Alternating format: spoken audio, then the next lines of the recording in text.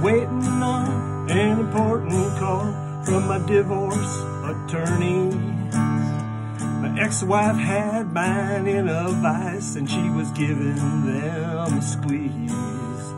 My mobile rang, I didn't recognize the number, but I answered, I was seeing red.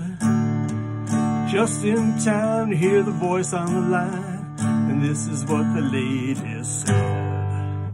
We've been trying to reach you about your vehicle warranty. There ain't no pretending it needs some extending, it's your number one priority. We've been trying to reach you, this is your final courtesy call. We're here on the line for your peace of mind, please press one and I've been dining with my brand new girlfriend at a Chinese restaurant. The lighting was low, the food was so-so, the romance was all you could want.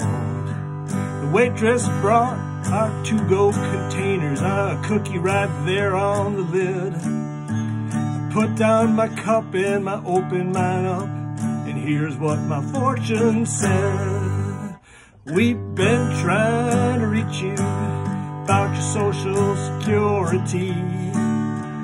Bad news, we're bearer, there's a serious error. We need your number immediately. We've been trying to reach you. This is your final courtesy call. We're here on the line for your peace of mind. Just press one and we'll handle it.